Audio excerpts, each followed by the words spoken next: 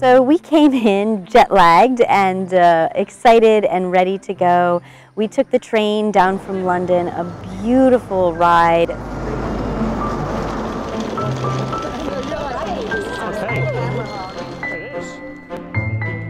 Oh, it feels great to be here. I'm so excited.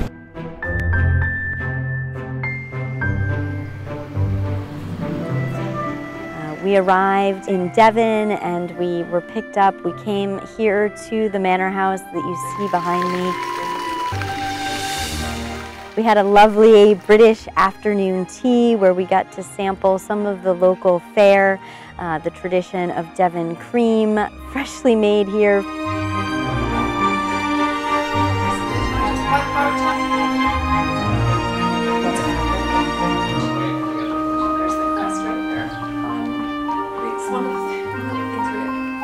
Gosh, it's delicious. I would love some. and uh, you know settled in.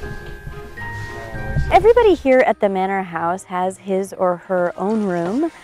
Oh my gosh, Annalisa, you calligraphied our names. That's so gorgeous. I love it.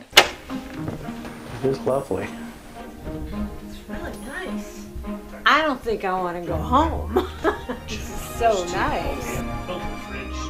We have three gorgeous meals a day. Everything is locally sourced, grown right here, picked yesterday, then made in a beautiful bouquet by our host Michelle, who is is one of the most uh, talented chefs I have ever encountered.